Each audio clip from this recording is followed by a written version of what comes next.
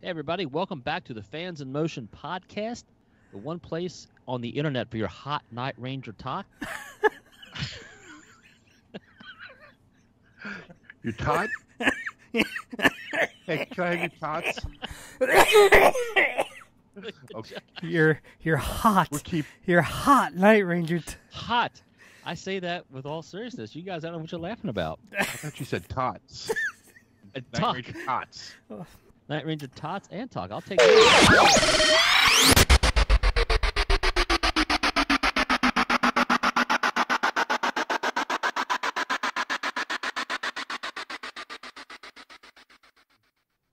Hey, everybody, welcome back to the Fans in Motion podcast, the podcast that you didn't know you needed.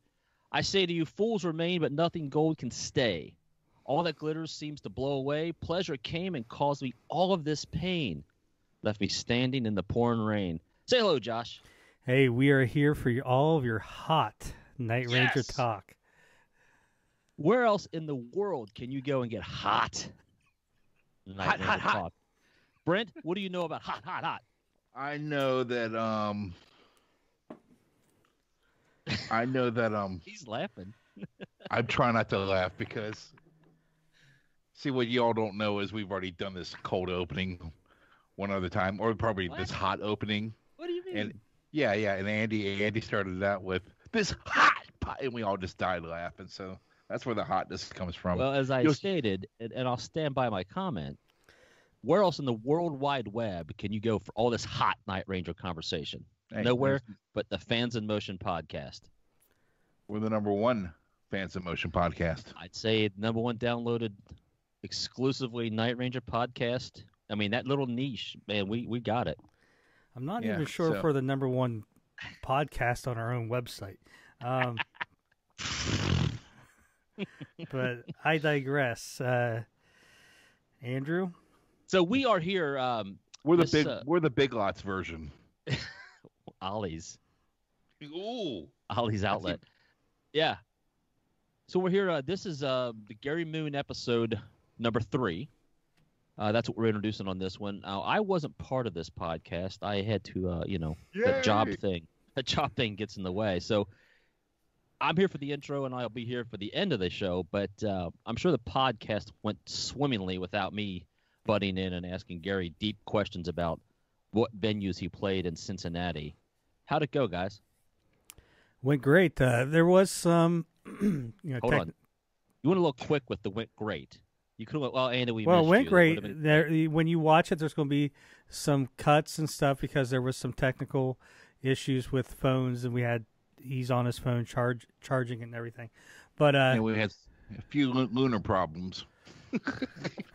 but uh, uh, but yeah, in this episode, we touched a lot of his solo career after Night Ranger, and we touch on some of his other projects that he's done since the uh, Mojo era. But we spent a lot of time, again, touching, going back and discussing his time in the band, and we, you know, we we spent a lot of time talking about the um, the album that he's recording with Brad right now on Brad's solo album. So he, we Yeah, dig that deep, was really cool. we dig deep into it, and we we're all over the place on this. I mean, it was some great Yeah. stories. He uh, we he t- tells us some great stories about uh, his first rock concert, Oh, nice. and uh, he has a great Rubicon story as well. Yes, so, he does. Oh, that's cool. I can't wait to watch this. First impressions of Brad and Kelly. Yeah. Yeah, meeting them for the first time and hearing Brad play for the first time, and it's pretty cool stuff. Oh, that's gonna be cool, man. I cannot wait to listen. Uh, I'll pull that up on my Apple Podcast, and uh, I will put it in my ears. Yeah, the great thing about Gary is, is you just um you you feed him a question, he feeds off the mojo, and just keeps going. Yeah, I mean, literally, you just let the guy talk, and um that story is going to go somewhere, and then it gets somewhere, and then it goes somewhere completely different. Um, but it's so cool how you end up where you end up. You know. Yeah. I hope that sounds right. I like your little feeding off the mojo drop. Um, yeah, that way. was just yeah, that was spontaneous. I uh, I write like that in my head, you know, as I'm talking. I'm writing put right it now. out there to you, Brent. If I'll give you five bucks if you can name the lyric I opened the show with, name the song. I'm pretty sure you can't. Josh probably could. We should make it a contest. Whoever can name that lyric, Brent will do their name. Oh, will I? Nah, I wouldn't put you under that pressure, man. I wouldn't do that to you. That was a song called "Last Chance" off the Feeding Off the Mojo album. For those I that knew that. I know listening that. I knew. I knew that. So uh, I, I didn't know that was a song, but I know that song. it's a it's another it's a good tune. Um, you yes, know, I've it been, is. since Gary has been um, gracious enough to sit and talk with us, I've gone back and really revisited that album, which you know was never really a favorite of mine, but I, I listened to it and it's uh it, it's really grown on me. Some really good tunes on there. So uh, because I like Gary, I think Gary's just a cool guy. So it's like I maybe I missed uh, gotta judge that album too quickly. See, it's funny that you brought that up because Josh and I were talking about how fans are going back and rediscovering that album since we've been talking to him. So I that's hope pretty cool. I mean, anything in positive in the Night Ranger world is all right by me. And you're always Um, and you're always going to have that. I don't know if backlash is the right word, but every band when they change a member, especially a A vocalist, singer. they they don't gravitate to it uh, just because of reasons outside of the music. Just it's not what they're used to. So, and I got this scratchy voice now because of your damn opening. Well, then we will, I'll do as much talking as I can and give you a break. But I have to ask you on this one: thoughts on the previous episode? Is there anything you want to bring up?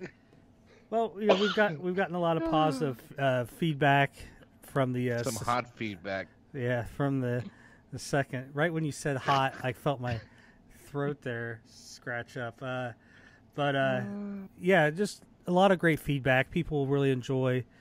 I think it's opening way way I get it's opening up kind of a you know this world to Gary that people just didn't know because there's not a lot of interviews out there Absolutely. that you can watch or listen to just because it's pre-internet when he was in the band. So they're learning a lot of stuff and the second episode was uh, focused a lot around Night Ranger. so obviously that draws a lot of attention as well. But a lot of a lot of good feedback on it. yeah, I think I told you, Josh, and I meant to forward them to you for this uh, interview with Gary, and um, I didn't. But a friend of the show and friend of ours, Kevin Hayes, had um, he was listening to the episode where, where Gary was talking about playing uh, the club down in Clifton, Brent. I don't remember the name of it off the top of my head, but Kevin knew who which club it was, and that was what became Burgundy's. I think you and I, I think you brought that up. Yeah. Uh, but he Kevin went up and found actual old photos of the club, and I will uh, I will post them to the page uh, after we're done with this stuff. And I have some pictures of um, our chance scene of uh, the Gary Moon era of Night Ranger from Coyotes that I will also post to the page. So I um, spent many of a wallflowers nights in Burgundies. yeah, Back when I was young and out of my element, trying to figure out what, my element was. it was not really, Burgundy's. It wasn't Burgundy's. It was not the University of Cincinnati main campus. I remember I drugged Tom Peacock. Yeah. Yes, his name is Peacock. I drug him to that bar, like on a Thursday night, and there there was me and whoever was friends of that band that was playing there that night. It was normally a dance club, but they had actually had a rock band playing there. And this is circa 1989, 90 Sweet. and this band is playing, and now all of a sudden they go into Kiss Love Her All I Can. Wow. Well, we're the only two people outside of the friends that are there, and we're going ape shit Yeah. because nobody's playing Love Her All I Can in 1989, 1990. You know, Kiss So- doesn't even play that song anymore. no, well, not since 2004. So, so anyway, there, there's your Burgundy story for all you people who don't know what Burgundy's was. That was where you went to check out the ladies, ladies, ladies. yeah, then we graduated to Caddies and Sleep Out Louis and the Hurricane Surf Club in Cincinnati. mean- the Hurricane Surf Club. Brett and I never really graduated to a lot of the ladies, ladies, ladies, but we sure went out and had a good time. So, um, Andy Brett, let's move on. guys. How dare you, sir? How dare you? Yeah. Um, you want to? Uh, do you got any Night Ranger news you want to bring up and talk to us about? Do I have any night? Is there Ranger anything news? going on in the Night Ranger world that we can talk about? I mean, Night Josh- Ranger is currently recording a new album, as we've been stating, and and um, a good friend of the show, Eric Levy, is busy at recording some keyboard parts, and that's all I know. All right. Josh, I don't know if there's anything else you can add to that. Well, Some they more uh, shows. Oh, they, Sorry. they uh, a show just went on sale today. Uh, it's a new show, not something that's been rescheduled. July 10th in Wabash, Indiana, at the Honeywell Center. Um, I did purchase tickets today and got front row. For me and Brent too. negative. They're hundred dollars a piece, Um, front row. Yeah, so the uh, like I said, tickets went on sale today. Um, I will be there. I got two front row tickets. Uh, the first, I think, eight rows were hundred bucks, and then the all the middle sections maybe 45, 49, and then maybe the top four or five rows are thirty five. I saw Night Ranger there, two thousand and four, with uh, original lineup minus Fitz. It had uh, Michael Lardie was in the group. Jeff Watson was still there. It's a it's a it's a good venue. I've been there twice. Like I said, I saw Night Ranger there. Then two thousand. What the, were you referring to? That that extended version CD cover was from that show. Yes. Uh, okay. I don't remember who took the photos, but those photos, there's a set of them, all ended up on the internet. So I don't even know if the extended versions people even paid that person. I guess you have to see if there's a photography credit, but it's from that show. Everything was, and there's there's four. If you look, right in the very front, up against the stage, there's four girls standing there. Those four girls were there. They, you know, all the same outfits. Jeff has these bell bottoms, these black velvet bell bottoms. So there was just you could just I just knew it was that Wabash show I was at. Uh, it's a pretty big venue. It's a nice venue. Um, Whereabouts in Indiana is that? it's a little bit north, I think, like a Muncie, which is again north. It'd be like northwest of Indianapolis. Okay. Um, it's a uh, war. It's a little bit right around Warsaw, and then but it's not as isolated as Shipshewana. Shipshewana is all the way up Right. north, uh, in the northeast section. This is a little bit below it. Uh, so in Wabash, you got you got like old downtown, like probably like a lot of cities around the United States.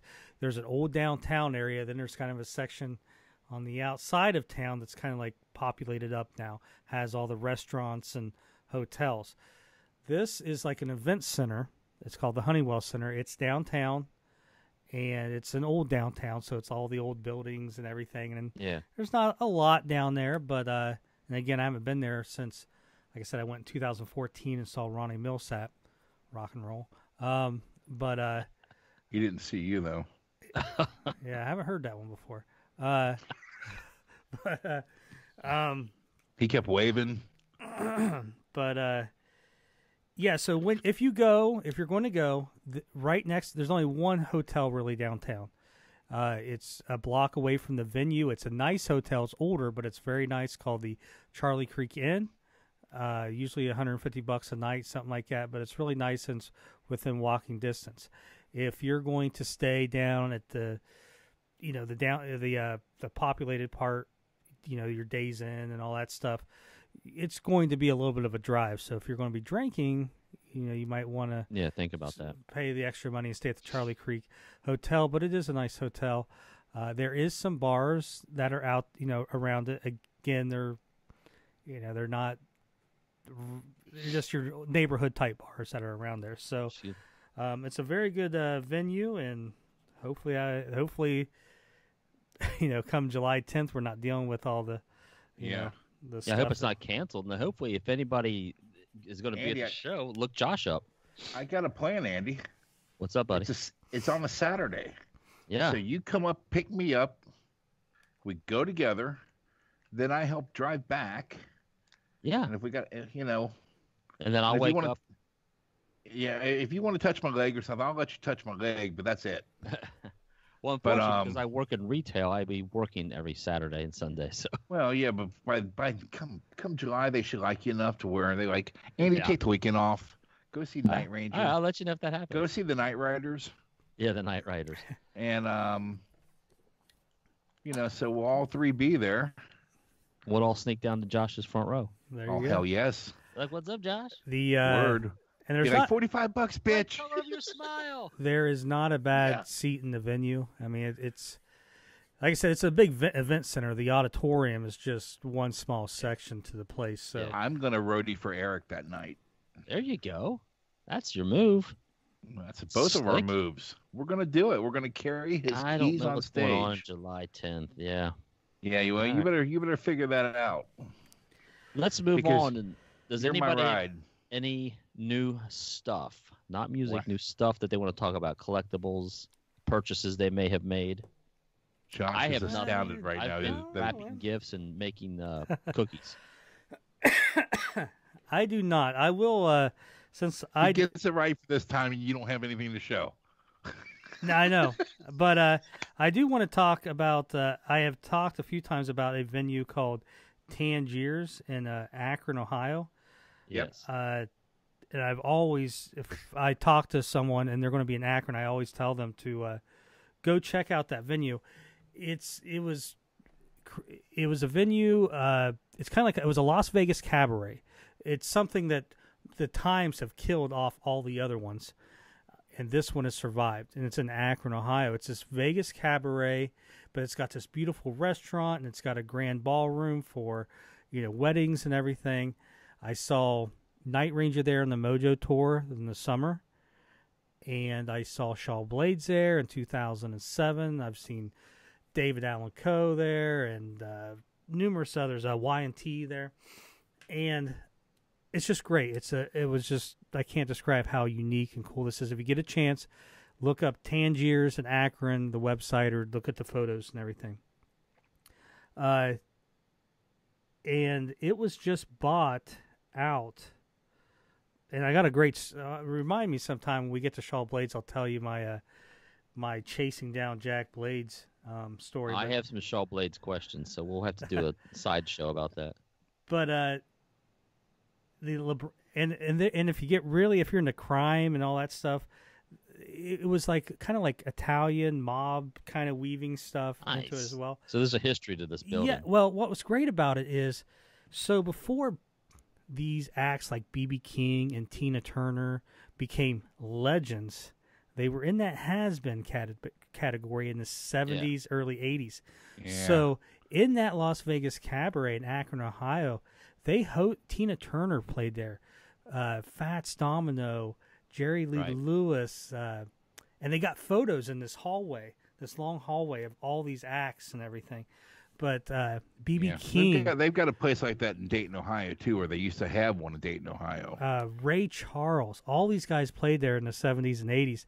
Anyways, um, I you'll hear me talking about it, but it is no more. The uh, LeBron James Family Foundation bought the place, and I guess they've been trying to sell Tangiers for a while, but they bought it and they're going to make this big community center out of it and everything. Oh so, no! So it's not going to exist necessarily as a concert venue that we know of. No, and it, it's been headed that way for a while. I mean, every time I've gone up there recently, I've kind of, you know, you can kind of tell it's See, But uh, I mean, what they've got planned for is really cool. I've seen, you know, the like Yeah. the press release, and it's going to be this big thing for the community. But uh, yeah, Tangiers is no more.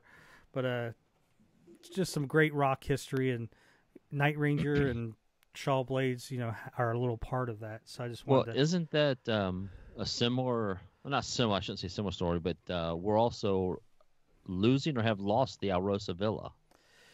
The That was sold, wasn't the Alrosa Villa, which is a, a rock club in Columbus, Ohio, that everybody's played at. Obviously, now is more known for you know where Dimebag. Darrell was murdered.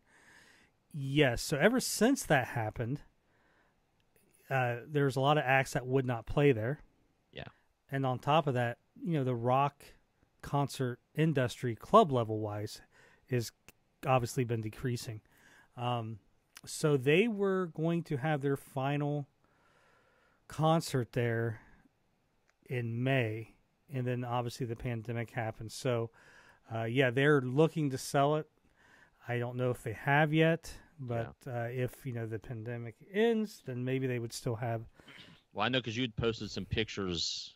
Uh, I think didn't you post some Yeah. pictures from the Alrosa? Mhm. Yeah, and everybody's played. Everybody's played. I mean, if you're on your way up and on your way down, that's where you played the Alrosa. A week before I saw Night Ranger, which is the some of the photos I was posting, I saw Ace Frehley and Peter Criss there. Wow. Yeah, They played there. yeah, Dang. it wasn't even sold out. Uh, Yeah, the Bad Boys tour. That's- you know, there was. December. God, that's. Oh, I didn't know of anywhere they were playing. Mhm. You know, Peter there was Peter no tour dates. Peter Criss played there in '94, um, but uh, but yeah, uh, both you know, like I said, we're losing these venues, and I don't think it's COVID. These places were on the way out. COVID just kind of sped it up a little Yeah. bit. Maybe. I had been to the, my one and only time being at the Alrosa, which honestly, oddly enough, Brent is the uh, the night I was there was the night that me and um, my significant other um, started dating. I was up there to see Lynch Mob and Mr. Big. Yeah. Well. Fucking fantastic, man! Guitar smoke flying off everybody's fingers. Yeah. The last time I was at the Alrosa was to see Saigon Kick. I was not there for that. Yeah, you weren't there for that. It was oh god, whenever Devil in the whenever they came. Or, yeah, Yeah, I was at that show. Uh, and the time before that was my boys Lord Tracy did a whole Labor Day weekend there, and I went up and stayed with with somebody that um, was staying at uh, lived in Ohio State, and slept in this nasty ass house just so I wouldn't have to drive back and forth and. Um, but Lord Tracy, if you don't know Lord Tracy, get to know Lord Tracy. Great Well, band. Josh, and I don't know if we've ever mentioned you're a Saigon Kick fan. Have we talked about that? I think maybe Bree and Britt have. I'm a Saigon Kick fan up to uh, Devil in the Details. After their, You, you don't have bastards. I do. That's why I don't go up to that. Oh, bastards is good. Well, I'm it's not a only big fan. Jason. I'm not a big Well, say, are you a Kick fan or a Jason Bieler fan? I'm both. I I didn't Yeah. mind Water, Devil in the Details. Uh, I would say the album I probably got into most was actually Devil in the Details. Um, Water uh, was really turned me on to him. yeah. Brent again. Brent had been on me to like listen to this band, and I, I, I put the water. We oh, I know we're going off topic here, but I got I put the water CD in, and it just really, Resonated with it really resonated with me. I was like, man, this is fantastic music. If you're looking for some good new music, uh, that's all over the place. Um, Yeah. And the reason why we're talking about two different people was on their first two albums, you had uh, uh, Matt Kramer. Jason. Or Matt, Matt, Matt, yeah, Matt. Kramer was the singer, and then on the the next two albums, which is Water and Devil in the Details, you have the- Bastards. uh, whatever. But uh, you got uh, Jason who was the guitarist singing, who's a very good vocalist as well, and they're known for "Love Is on the Way" and "All I Want," but they're so much more than that. Kind of like Night Ranger. Um, And that's Matt Kramer singing "Love Is on the Way," the big hit. Yes, uh, the Lizard, the, their Lizard, which is their second album, is fantastic. All Yeah. over the place, heavy. Uh, The silly The song they put on fantastic. every. yeah, I mean, I like the first album too, but uh, the, the Lizard just stands out. And they then are. Was they it are Sentimental everything. Girlfriend? Is that the one I'm thinking of? Yeah. Sentimental girlfriend friends. Father was a victim of a failed romance. I mean, they always have kind of a silly little Hit it. they're- Hit ditty it in the doesn't back. make any sense to the Yeah, I mean they're they're Duke Ellington, they're the Beatles, they're Metallica, they're they're Kiss, they're Def I mean every band, and every, I mean they just when you think you've got them pinned, they They come back with back some in. swing. They got like a swing song, you know. It's Yeah. it's it's amazing and it's good. All right, we'll have to save that for another conversation. We'll go do uh, go dig up Saigon Kick Spanish Rain. Get yourself a Brent, little. you'll post Oh, some Saigon tune, Kick to the page. tune. All right. What's uh, that? You post some Saigon Kick to the page when we get done. Our so uh, buddy Dave Nadelman, he went to school with Matt Kramer. get out of here. No, he we had a we had a discussion one night. So yeah, he's very well Well, that's versed in cool. Saigon kick. So Welcome to the All right. hottest Night Ranger talk. along with some Saigon Kick. Well, Saigon kick your ass and like a Night Ranger. And I, and and I always liked how they got their name. Saigon Kick was uh, when they were trying to name it in the late '80s.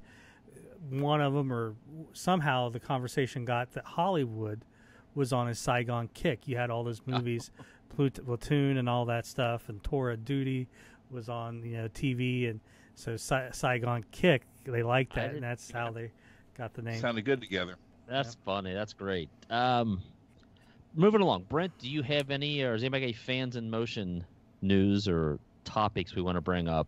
This Les week, Nessman? fans in motion news. We've had some very good, very good posting indeed this week from our old buddy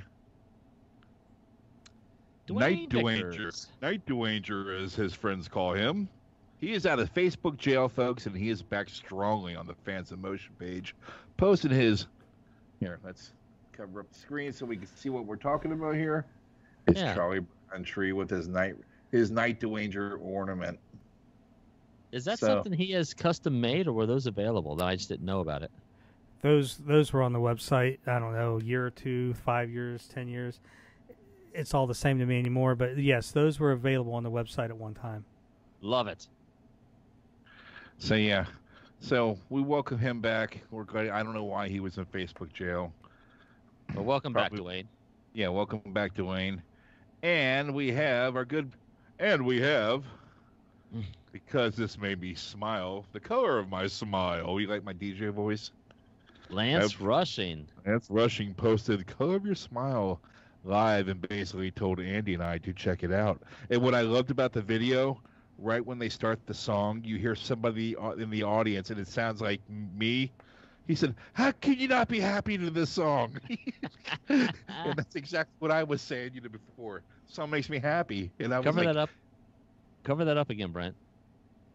If you notice there, uh, "I can't see it." So yeah, cover it up. I can still see your face. I want to. I want to talk about Okay. something behind you. oh, there, There we go. go. So you see all the likes down there. We have uh, the guitar player in my band, Bob Horton, is one of the people that like that. So uh, Oh, shout out to my uh, a, a good friend of mine and Brent's, Bob Horton. There.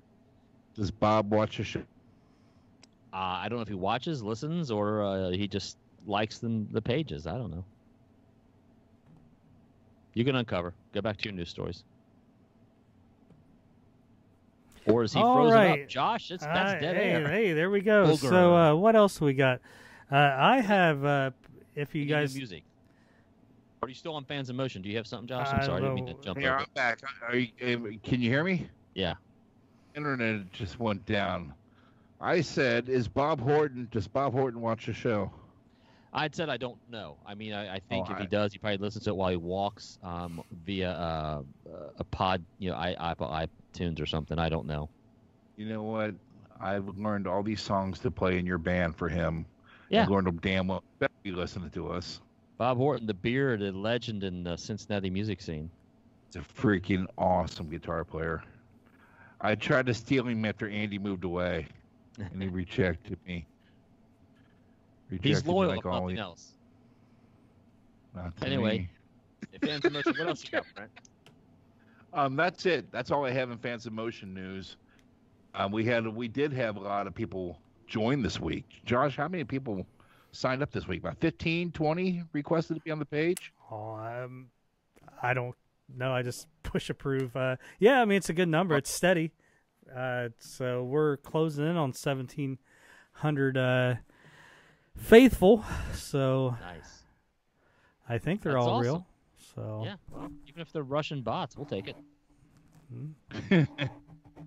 Well, Uh, do we I need to used do to uh, I, be- I approve of my check to see if there's anything Night Ranger related. There's been a couple that aren't. So, and I always wonder what you know, and you and you never see their name pop up on anything again. So.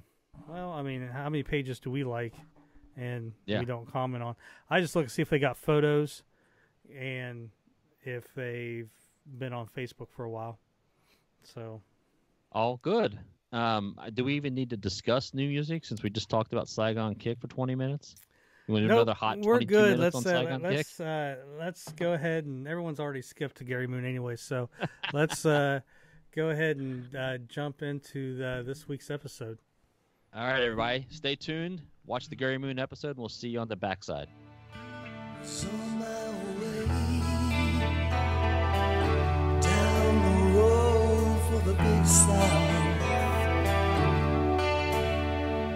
Just away lonely days. Gonna find out.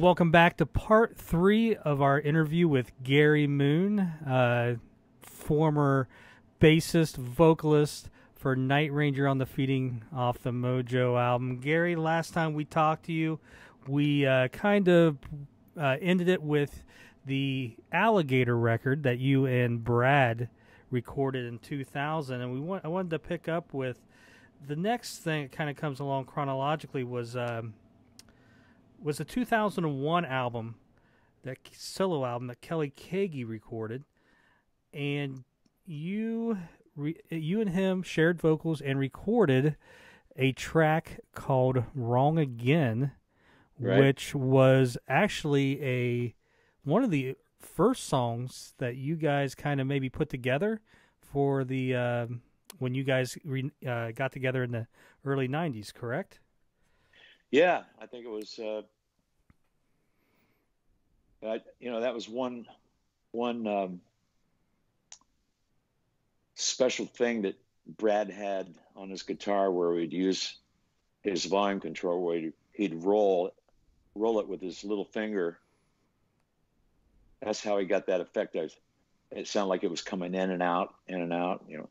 That's the uh, intro part, right? Kind of. Yeah, Yeah. in the intro, yeah. But that was something he, he's used in the past, but uh, it was perfect for this song. So that that was a nice little uh, click there on on the record. Yeah, and it was like the first time we started harmonizing together, and and uh, we were very happy people at that point. starting starting Night Ranger, getting them back on the road, and um, um, and you know it just it just kept blossoming after that. Now I mean, we, we yeah. have a we have a listener, and he he specifically wanted me to talk to you about this song, Patrick Fitzgerald. Um, he uh, I think this is probably one of his favorite tracks, and uh, he specifically mentioned it. Now, when was this one of was this a song that you brought to the band, or was this a song that uh, was written after you had joined? it was a song that um, I think his buddy, uh, I think his name is Todd Meager. Um, he helped write, you know, a couple songs uh, and came up with a, a couple parts of songs Mhm. on the record. On his record, especially uh, Kelly's record, and and, and he, he was one of those really great songwriter guys that would come in and make a great song a little better, you know. Mm-hmm. So I think he had a lot to do with that song with Kelly. And then uh, Brad put his signature volume thing on there. And then my voice just, Kelly, Kelly's voice and my voice together was just almost like a match made in heaven. So, I mean, we, we always had to almost argue who was going to sing the high part, who's going to sing the low part. Yeah. Well, But um, on the he- uh, he's a he's a little more baritone than I am, so and I can reach those high notes with a, a little switch that I hit on my, my back, and all of a sudden I go up a register. Well, what was great is, uh, especially on the demo version, Kelly sings the first verse, you sing the second verse, but behind the lead vocal, like on the first verse where Kelly's singing, you're right underneath him, belting it out, and then on the second verse where you're the lead vocal, you can hear Kelly right underneath you, Yeah, you know, belting it out as well. It was just uh, one of those songs I think a lot of fans enjoyed, and you know we're glad that it finally made it on a studio record. It's just we kind of wish that that long lost Night Ranger demo of it would uh would appear. Now, for a brief time, you worked with you were with a band, and I remember you talking previously that you'd never like to be boxed into a certain type. Like you like to be free to do whatever type music that you know you enjoyed, and you were with a group called Persons Unknown right around 2003 and 2004, and um, how did that come about? And is is was there ever an album released or anything like that? For those who have never heard it, I'll post a uh, a clip of it. There was a song called uh, I think Warrior. Warrior, and you can find it out there on YouTube. And I don't know, I just imagine, you know, if I was drinking heavily and thought I was a Viking or something. um, that is like the genre that it would fall under. Uh, It took you there, didn't it? it there. it did, and it's unique, and that's I think why I always I still gravitate to it. Um, but uh, how did Warrior. yeah, just it's a very unique thing. How did how did that project come about, and was there ever anything ever released like CD or anything like that from that group?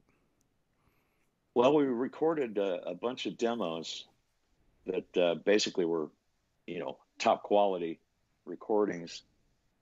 Uh, I, what was is uh, we had this our management company uh, with Night Ranger for a short time. There was another company that we used, and uh, there was a secretary there named Amanda Amanda Forker. Uh, she was from England also. These guys were from England, by the way. Oh, really? Yeah, and these they were like, you know, six five. They all like probably weighed I don't know three hundred pounds, and uh, they were warriors. I mean, there's no doubt about it. Um, when you see that video, you could see us holding big sticks, and walking in the dirt, and uh, but anyway, uh, Amanda, they were getting ready to do some recordings, and Amanda has always been one of my favorite fans and she says, "I would like to see see what you could do with these guys.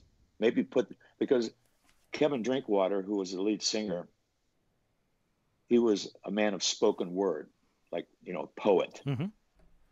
and uh, all of his lyrics. If you if you just read, he has a book out, Kevin Drinkwater, and um, if you read the lyrics, they're pretty bold, but they they were a little a little light on the music to go with it. Like we had uh, guy that played hand percussion, and uh, Rich who played guitar, acoustic guitar, and that was it.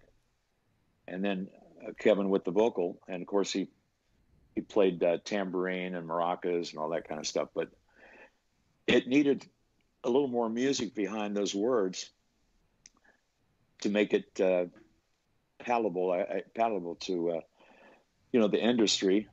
If they wanted to sign us up they probably needed a little more than just darkness rolls across the sea crawls across the sky.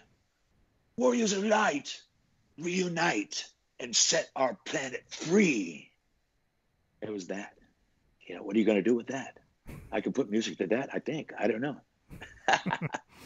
but so so anyway i went to they, they actually were renting a studio that was pretty close to where I lived. So I just went over there one night. They were expecting me. They heard all my stuff, and they were kind of excited about meeting me. They, I mean, I, they made it out that I was way bigger than I really was, but but they heard my stuff and they were interested in um, uh, allowing another person come in and, and see what we could gel up. And um, so you know i said you know i'm not really doing a whole lot right now. And you know i started going to three rehearsals a week and we started uh, trying to put together a little bit more music uh, behind those words because the, the lyrics were really fantastic. Um, and so I started playing with these guys, and we started doing a couple shows in LA. um, just to see how it would go because they had a, a following already. They'd been playing as a trio. Um and uh, so I came in, played bass, and put in more vocals, and we arranged the songs to where there, there'd be a verse, you know, structured it so it can actually be a song, you know, because sometimes it's uh, spoken word guys, you know, they, they go off left field for a reason because that's what the story asked for. Um, but we started c- cutting it down to you know three to three to five minute songs, and uh, and people loved it, and so it, I wouldn't do anything else at the time. I mean, I was writing stuff, but Mhm. But uh, I really enjoyed being one of the guys. I mean, these guys are like from Biddulph, England, which is like way north, way up just across from Scotland. Um, they were primitive, really primitive up there, and you could tell when, you know, when I walked in that room that holy shit, man, I got, I got, uh, I got some warriors here. I mean, I didn't even know, I didn't know there was a song called Warrior, but they just looked like, like that they, they were ready to kick somebody's ass. That's like, but That- they, they were all lovey, they were all lovey-dovey guys, and we hugged all the time, and uh, it was a brethren kind of thing, and and uh, we got along great. First night, I'll never forget it. It was like, man, are you are you allowed to do this with us? I said, hell yeah. I, I decided that I wanted to do it with you, and Amanda turned me on to you. Amanda was um, Kevin Drinkwater's uh, girlfriend for a little while, so they've stayed friends all those years. And uh, so she thought that Kevin and I would really hit it off. Mhm. Um, really, it was. I just felt like I was 12, or no, more more like nine, and we became blood brothers. We cut our wrists, put the bl- blood together, and rubbed them, you know, and hopefully it stopped bleeding. Yeah. Um, but uh, we we just felt like the he showed up on his motorcycle that he actually built himself. His dad used to build motorcycles in England, so he took uh, so many parts from different bikes and he built his own bike. And that thing he could he could run it in, in rodeos. I mean, he stood up with his hands out like this, going 60. I mean, it was he was just a madman. I mean, he really was. I mean, I don't know if you ever seen any pictures. Did I send you any pictures? I think there. I have something I saved online a, a few some, years. sometimes he wears a helmet or or motorcycle glasses on stage, and he always has a fucking six foot sword that he did sword dances, you know, in between songs, and uh, he always had some kind of fire behind us, you know. It was it was pretty dramatic. So I, I was so lucky to be able to to be with those guys until uh, Kevin unfortunately killed himself on his own bike uh, driving around some of the the hillsides up by where I lived up in the, the foothills above uh, Pasadena. Was was Persons Unknown still active when he passed away, or had it already dissolved before he passed away? Well, if you want to know the truth, he was persons unknown. Hmm. I mean, it, it was his words, and these guys have been friends since they were kids. Mm. Uh, without Kevin's voice, it was Yeah. there was just no reason to carry it on any further. It's almost like it's too good to do any with anything with. I mean, sometimes that's why a lot of groups they don't do a new record because they thought that they hit their peak, and if they do a new record, maybe it wasn't as good as that peak, and then all of a sudden you're losing people. That Mhm. so Well, so we just we ended on a on, on a high note, and um, and I still listen to those songs. I mean, they're all uh, so inspiring. But anyway, that's Mm-hmm. my little story about persons unknown. Well, I will post that link to the one song that's on YouTube, the video, so everyone can uh, kind of get a visual representation of what we've been talking Yeah, about. it's wild. Yeah, like I said, and you know what? I, I talked about drinking and being Vikings, and it makes sense that they're from England. so uh, it wasn't too Exactly. far off. Um, I want to jump over to uh, the the solo album that you released, um, Still Moon. Uh huh. Now that was basically the the recordings of the band before that you were in before you went to Night Ranger called the Pack Right. with uh, Curly Smith and um, I think Pete Comita from Cheap Trick you said was there Right. and Yeah. um, uh, I- I'm drawing a blank on some of the other n- names, but so that was basically that album. And and what did you do to release it under Still Moon? Did you re-record it? Uh, Um, what we did is we were we had some of the the best people helping us uh, that just loved our music and loved all the the members of the band. I mean, fans were coming out of the woodwork because everybody was different. We had the Cheap Trick. We had guy that's playing at, at, from you know from Boston to this day, and he was in Jo Jo Gunne back in the the early days. Um, and he'd done a whole bunch of records too. I mean, um, he was on so many. I, I don't even have time to even mention, but he's like one of those guys that you bring in, mhm. and and he, he'll spark up one song. It could be like the first single. You know, he's like one of those kind of guys. And uh, great voice when he's playing drums. I mean, actually, I was turned on to Curly um, by Matt Sorum because I had Matt Sorum playing with my little band. Uh, let me get this off the screen. Oh, lost you. You know, there was a time where you know I, I bought this building and turned it into a rehearsal studio and a recording studio actually and it was i had an apartment upstairs that was all one huge room and a big stage and up up on top in a, in a loft i guess you could call it i had a bed up there so if we were recording or if i was rehearsing and i didn't want to go home which is only four blocks away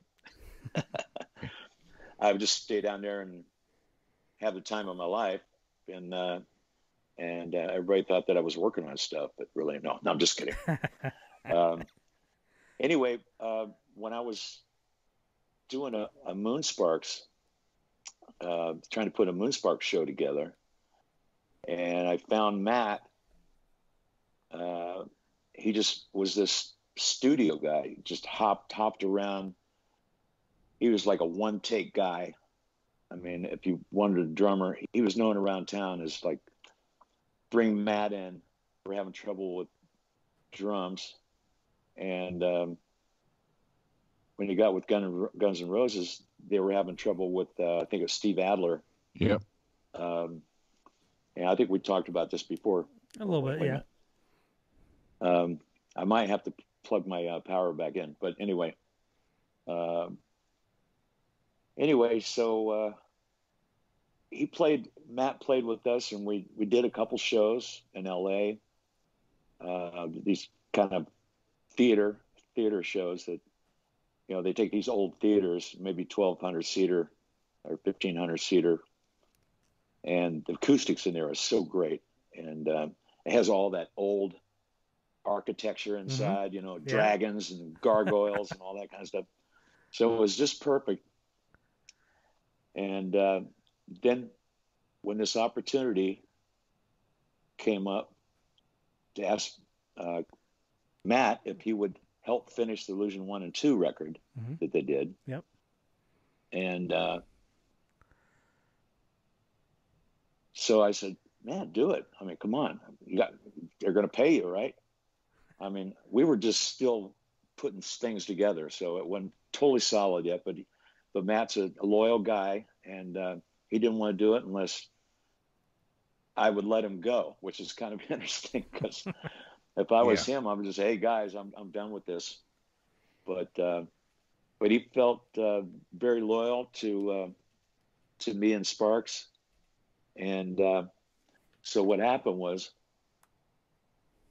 Um, one of his mentors his favorite drummers of all time was guess who? Curly Smith. Oh, Thought you were going to say Uh, me. Well, you know, I just I was going to try to write some kind of a release form here. no, no. Um, so you know what he did is he called he called uh, Curly and said that he's been working with me on this all this original music and stuff, and he had an opportunity to play a show or two with the Guns N' Roses or finish the record Yeah. basically. And um,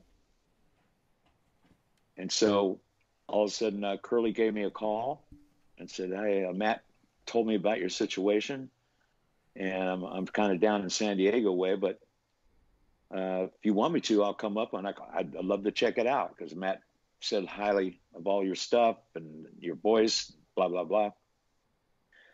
And you know, I think you would like playing with Gary. He's bass player that picks up on the drums. A lot of bass players just go off on their own. The drummer has to follow him. But I've always, I always wanted to be a drummer. So in other words, I was really trying to actually accent the drums with the drummer. You know? Yeah. So it slowed me down. I, I didn't get so busy because I used to be a busy bass player. Came out from, I studied jazz in, in college. I played upright bass for a couple of years and I was all over the neck because I was a guitar player first, you know. But uh, so Curly came in, and we started playing stuff. And uh, what happened was I, I had to dissolve the Moonsparks thing uh, because it was getting too well, too, too too much work to do it. So I just put that on the shelf. And um, Kelly and I said. Uh,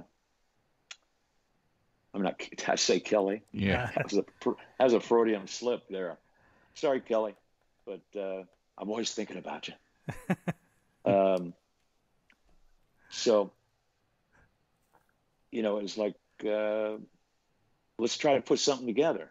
So, I started writing some songs with uh, Steven Isham from um, From Autograph. uh, Autograph. Thank you. Yep.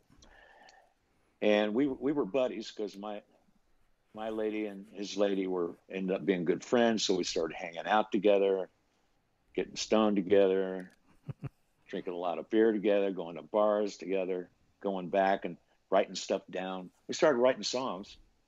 So we had we had him on keyboards, me on bass, and um, Curly happened to be available and he liked the stuff. So he, he came in and he brought in Pete Comita because they were best friends.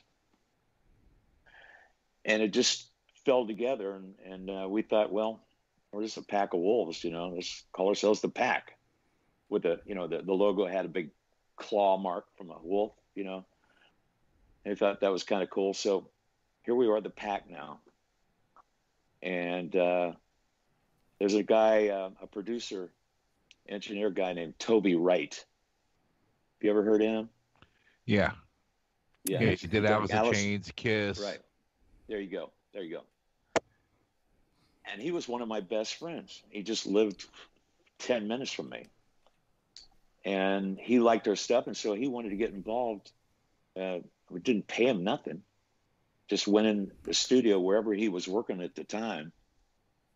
Uh, he made sure there was off time for whoever he was working with and bring us in. So we recorded all those songs on the Still Moon CD, plus a bunch more, but we chose those. Um, and then, of course, I, I got the opportunity to join Night Ranger. Um, and nothing was happening yet with the pack, but we had all those songs recorded. I didn't know how it was going to work out with Night Ranger. You know, I never knew these guys. Mm-hmm. hmm I never listened to Top Radio, Top 40. Uh, I'd never heard of them. And uh, so it was kind of a blind thing that uh, I went into. And they, I, I know what it was. Uh, Kelly and Brad had been hearing some of my demos going around, and they liked uh, my bass playing and singing, which uh, would take the place of Jack Blades. And the the management company, which I'm sure you know, um, who was working with us at that time, um, I can't think of his name now. Bruce Bird. Camel. Bruce Uh, Bird. Bruce Bird. Yep. Bruce Bird. Thank you. Bruce Bird and um, Bruce Bird called me in. I met Brad and Kelly for the first time, and they said that uh, this is their situation. Never heard of Night Range. I know that. You never heard any of their music, but you know that they're a band that's successful, and we want to bring you in if you're interested and be a third member to the band and try to bring Night Ranger back after they they broke up because of their contract with Universal Records or something like that. The only way they could get out of the contract is to. Um, you guys still with me? Yep. Yeah. Yep. we're- I'm just. I am listening. To, listening to it. I love hearing this story.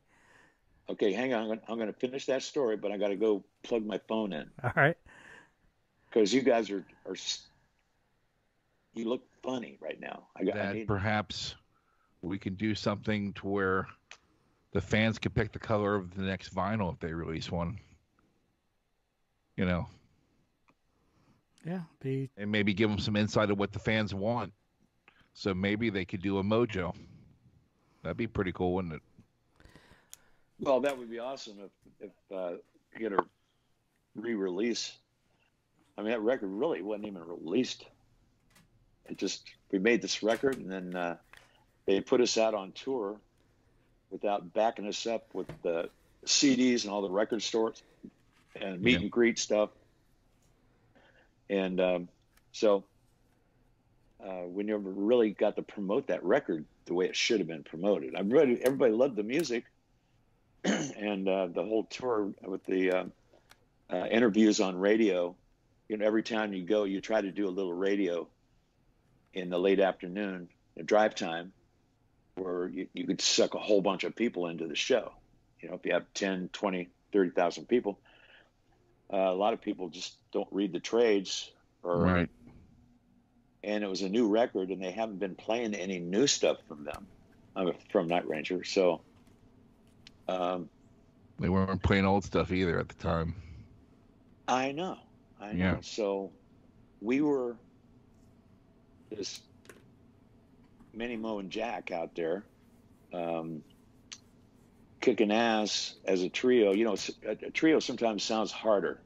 You know, with uh, Midnight Madness, you know, Night Ranger had a little bit more um, rock edge, I think you want to call it. I think anyway. And that's one thing they wanted to bring back when Night Ranger came back together. They wanted to go back into the har- harder, you know, strong rock, because everybody was trying to get them to do ballads because Mm-hmm. that's where that's where the money was at, you know. And they did good with ballads. There's no doubt about that. But they were trying to come back and be more guitar oriented oriented and uh, and my voice is a little stronger, you know, rock voice kind of guy. Uh, and so it was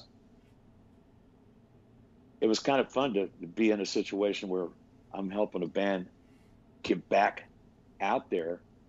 And then with, with the Mojo record, which wasn't well promoted, like I said, um, it was really hard.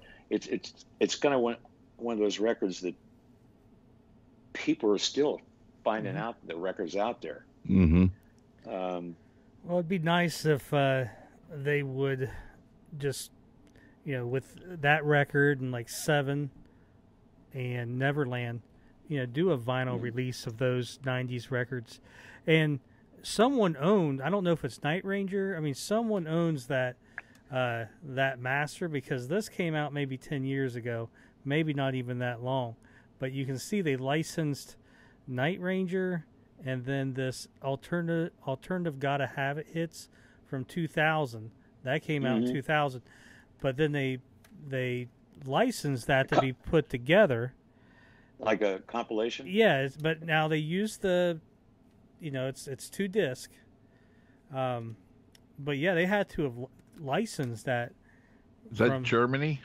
No, it's United States. It's uh, Oh, is it really? yeah. It it looks like I think the record label was Gusto. Um, they they own a lot of. Used to see them like in cheap music bins.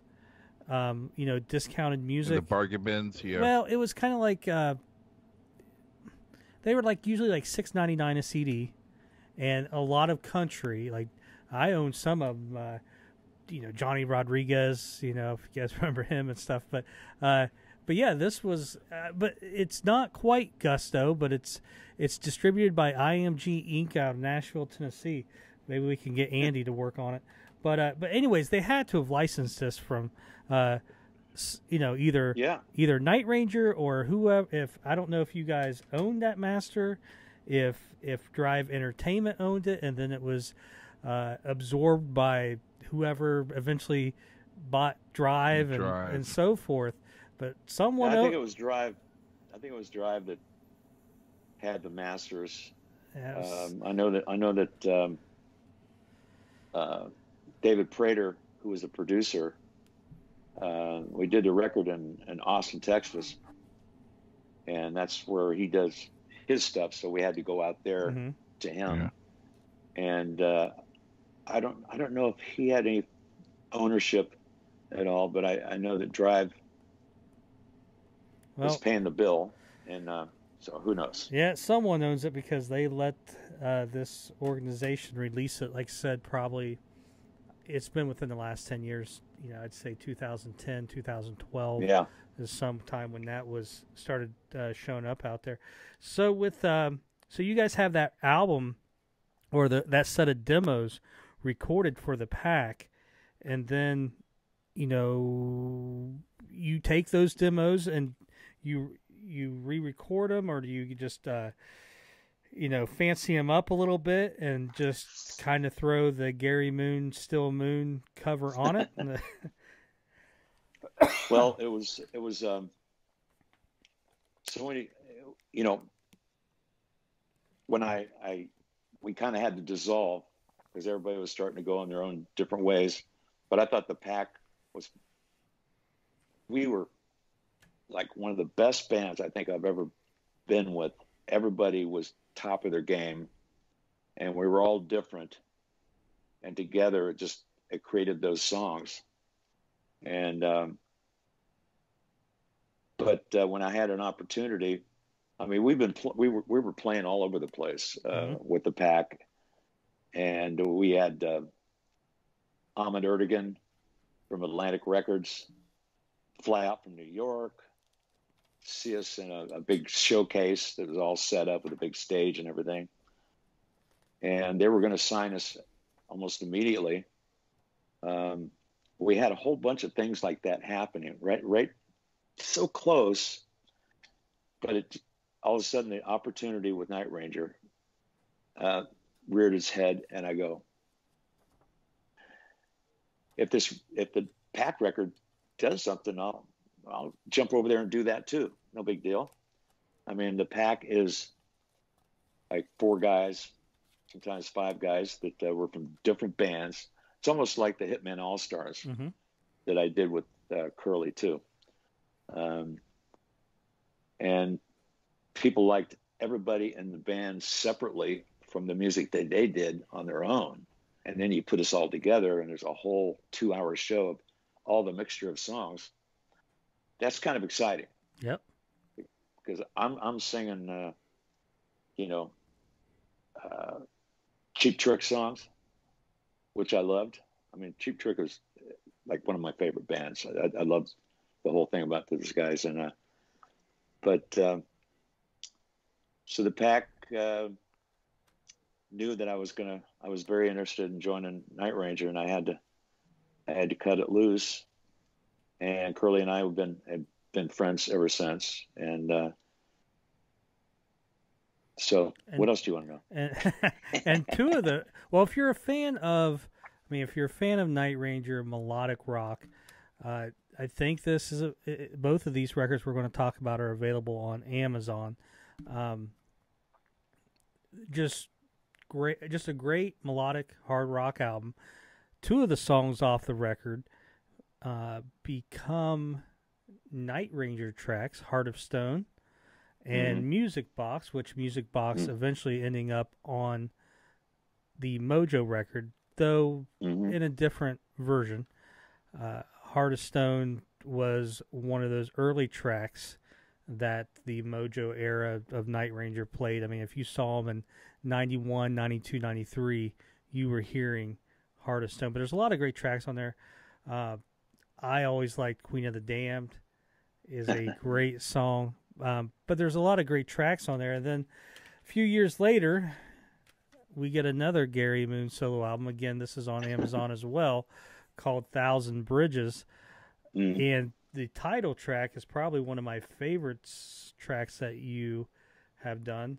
Um, and it might have a little bit of new life breathed into it as well. We'll talk about that later. But uh, you also do a kind of like a more original version of Feeding Off the Mojo, kind of like maybe how you had written it originally on this album. Yeah. Yeah, in a hotel room Yeah. on Uh, my little four track Fostex. So after the thousand bridges, you kind of you hinted at it earlier. Curly Smith comes calling you. You guys get back together and you do this band called the Hitmen All Stars. Had you, Curly Smith, um, from like we said, Boston, and uh, Jo Jo Gunne. Who else joined you with that project? Oh man, you're gonna do this to me. I'm trying. Um, uh, it's because it's it's been a few years. I think, uh, uh, and Brent, you may know this. Who was the uh, guitarist that replaced um, uh, Joe Perry? Jimmy Crespo. Yeah. Jimmy Crespo. I think he played a few dates with you guys. Yeah. Um, and I think Steve Augeri from Journey that replaced Steve Perry maybe sang a show or two with you guys. Yeah, some sometimes uh, because it was a swinging door. Yeah. I mean, whoever was off tour, and Kelly. I mean, not Kelly, but I always say Kelly. Kelly, I love you, man. Um, Curly uh, has so many friends out there. There was a guy in um, uh, a couple of huge bands that were just taking some time off. Talked them into come out and doing like a five or six dates of our tour. Mhm. So we would have people in and out Yeah, that's which made which made it interesting for the the people who are coming to see us. They go, "Wow, did you hear that?" It was like, so Yeah, because I saw like clips you guys would do like you know Night Ranger tracks, Aerosmith, Boston. It was just and there's and it's a good uh it's a good formula. We've you know Kelly Keagy did it with scrap metal. There was a thing out in Vegas that I saw ten years back called I think Monster Circus that had members of Motley Crue and Kiss and everything in there and it's great because you get to you know hear music from all the bands you enjoy and see the the different members. So also in the last few years you've also did some shows with Mickey Free, correct? yes, How did Um, how did you guys hook up? I'm gonna have to take these buds out because they're not they're not working either. Okay.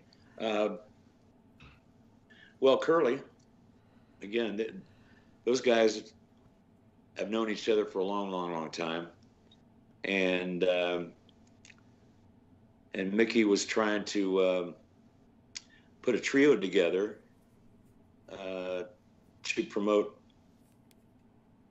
a lot of his music that he's Mhm. been doing, and uh, um, and Curly called me, would I be interested in doing a power trio? with This guy named Mickey Free, so they sent me out a couple CDs, and it was like, you know, I'm playing with Hendrix here. I mean, Yeah. this this guy's pretty prolific. I mean, uh, he just about do anything on that damn guitar. I swear. Um, and I thought it would be a lot of fun because he covers a lot of bases on the guitar, and um, I just I just get to play as hard as I want with this guy. And Curly steps up to the game too, because you know he Curly's one of those uh, professional drummers that whatever the song needs, he'll put it in there. Um, he can play really hard. He can play with a lot of finesse. But uh, this Mickey Free project that we, uh, I think it was the first gig that I did with with Mickey was in um, New Mexico. Um, nice big stage and everything, and it was our first time first time together. We actually got to rehearse the day of the show, so we could at least know that we're on the same track. And um, uh, man, it just And just set it off. I mean, we, we're still friends too. I mean, uh, him and his wife, and we converse all the time, and mhm.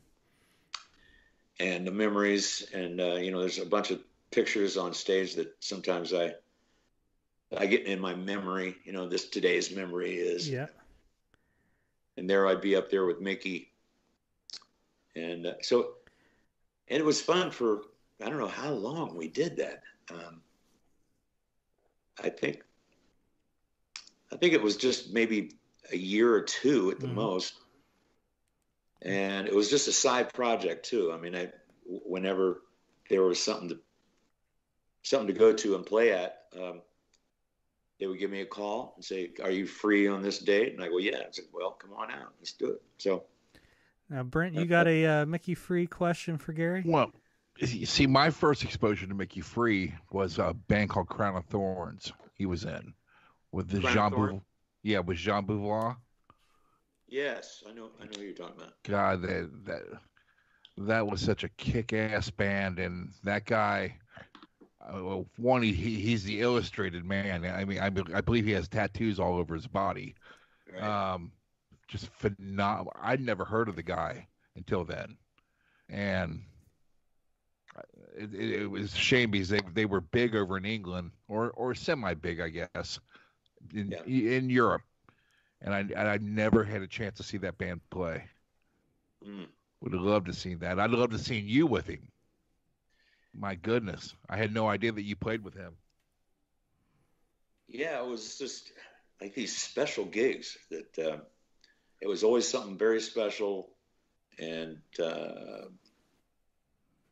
almost big but private at the same time. I mean, he, he had a certain amount of fans, and Curly had fans too, and people knew about me, but never knew me being with Mickey or, or Curly at the time. So it was a new what, he called Mickey Free experience. Um, and uh, it was. I mean, I've very, been very lucky to play with some of the, these Mhm. incredible songwriters and players that, um, you know, I'm counting my lucky stars, knocking on wood wherever I go, and staying in shape. Uh, I think I'm in better shape now than I was 20 years ago. Uh, I can't wait to get on stage and Mhm. do my backflips and uh, crawl like an alligator, you know, all that stuff. And what's what's uh, what's funny is with Mickey Free, uh, a lot of the younger generation probably knows the name Mickey Free from Shalamar Right. and the skit on the Dave Chappelle show where the Charlie Murphy stories. He talks about hanging out with Prince and uh, you know his brother Eddie Murphy, and he mentions Eddie's with Shalamar and Mickey Free, and it's the episode where they're at the club and they go back to Prince's house, and Prince is like, "Hey, in the middle of the night, let's play a game of basketball." So they give Charlie Murphy and Eddie Murphy and his entourage, uh, you know, like sports outfits, you know, you know, shorts and stuff. Right. And then Prince and Mickey Free and Shalamar, and they're they all come out still wearing their club outfits, you know, the ruffles Yeah. and the the, Yeah. the heeled shoes. And uh, Charlie Murphy said they kicked their ass. You know, they were laughing at him, but they kicked their ass. And uh, he goes, uh, he goes at the end. Prince brought us in and made us pancakes. And you know, they're you know the whoever like the interviewer of the skit is you know asking, really? He goes, I'm not lying. He made us pancakes. And there is a, there is an interview out there with Mickey Free. They ask him about that night, and he guys he goes every part of it's true, and he goes into the details of it. But uh, yes, most of the younger generation, you mentioned Mickey Free, probably what they'll think of first is the Charlie Murphy stories from uh, the Dave Chappelle show. So in the last uh, year or so, Gary, you've uh, kind of been hooking up with your uh, old partner in crime, uh, Brad Gillis. Yeah. How how did uh, how did this all start kicking off again? Well, um, Brad uh, just out of the blue um, called me up and said. Sometimes he called me moon poopies. uh, I don't know if he's going to hear this or not, but he'll probably hate saying that. Well, but, we uh, like to think Brad is an avid listener to the Yeah. Fans in Motion podcast. So All right. Well, anyway, you know, I, I was, I was, uh, you know, down in rank called moon poopies, and he said, "You know what? I got, I got some ideas for songs. I'd like to shoot some of them down to you because we were like 300, 400 miles away from each other, and uh, tell me what you think. And um, if you like anything, I'll send you. You always sent me about maybe three three songs at a time, and uh, I would come up with a melody, an idea for what I wanted to uh, write the song. Um and he had ideas for what he'd like for the song to be about. He told me that too eventually, and we kind of melded together. So he would send me songs, like three or four at a time. I'd work on them for about two weeks. And then I'd fly up to his house in the studio. And uh, we spent five or six, seven days down there in the dungeon just plowing out songs. And it was all off, off the cuff stuff. Mhm. I mean, was sometimes I'd be up for three days, and all of a sudden, some of the best shit that I ever came up with came out. Wow. because you know sometimes you just you have so much stuff going on in your life but eventually it just drops off and all of a sudden you're stuck with just your primitive self and and some of the some of these ideas just came right from the gut you know just and um, that's that's why I like working with Brad. He's, he's he likes to stretch out as far as he can and he knows I do uh, and that's why we had such a great time on the alligator record. We did the same thing with the alligator record um, how we worked on the tunes and everything but uh, but we started coming up with some great ideas for songs so it, it, it just we said we got to finish this thing. So it wasn't that long ago maybe just a couple months ago that uh, we uh, we finished the record and then brad has been uh, and i came back home and was doing some more writing and uh, he started doing these mixes different mixes and sending them to me. And said what do you think about this mix and that mix? and uh, i would make a couple comments here and there but mostly i mean i didn't have to do anything to the songs. I mean he's become pretty good at producing records and coming up with all these tricks Mhm. you know that he's learned throughout the years being in some of the biggest studios in the world.